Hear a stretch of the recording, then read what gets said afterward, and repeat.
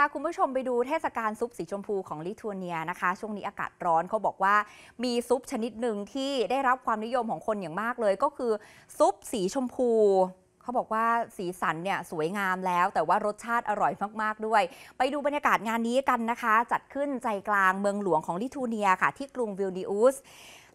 ทุกอย่างในงานนี้เป็นสีชมพูหมดนะคะ นี่คือเทศกาลเฉลิมฉลองพิง k ์ซุปเฟสหรือว่าเทศกาลซุปสีชมพูค่ะ เพื่อที่จะให้ผู้คนเนี่ยได้มาชมซุปที่ว่านี้นี่ค่ะ นี่คือซุปบีทรูทเย็นแบบดั้งเดิม เป็นเมนูที่ผู้คนก็จะนิยมทานในช่วงฤดูร้อน นี่จัดขึ้นตั้งแต่ 1 มิถุนายนที่ผ่านมานะคะ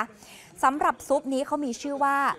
ซาลติบาเซียทำจากบีทรูทขูด แล้วก็แตงกวาผสมกับโยเกิร์ตชนิดหนึ่งที่เรียกว่าเคเฟอร์ทำให้ซุปกลายเป็นสีชมพูสวย ก่อนที่จะโรยหน้าด้วยไข่ต้ม แล้วก็ต้นหอมหรือว่าผักชีฝรั่ง ปกติมักจะเสิร์ฟมาพร้อมกับมันฝรั่งอบร้อนๆค่ะ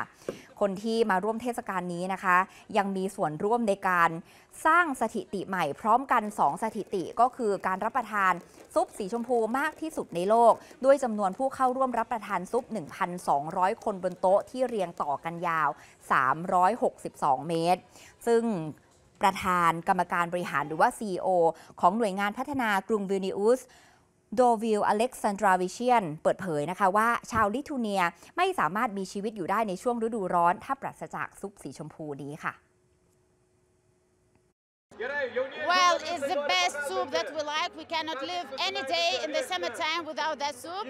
Everybody from the little kids till the old man eat that soup every day in summer. So we invite everybody to come to Vilnius and to try this soup. It's uh, very, very unique and very beautiful. It's pink.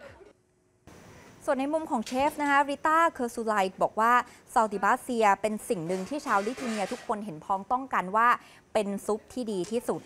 และงานนี้นอกเหนือจากกิจกรรมการชิมซุปสีชมพูสวยๆ แบบนี้แล้วนะคะ ผู้มาเยือนยังสามารถสนุกสนานไปกับการถลายตัวลงมาจากสไลเดอร์เป่าลมนี่ค่ะความยาว 50 เมตร ลงมาในชามซุปจำลอง แล้วก็มีกิจกรรมวิ่งแข่งถือซุประยะทาง 600 เมตร ซึ่งผู้ร่วมแข่งขันก็จะต้องใช้ความพยายามระมัดระวัง ไม่ให้ซุปในมือเนี่ยหกซะก่อนก่อนที่จะเข้าถึงเส้นชัยค่ะ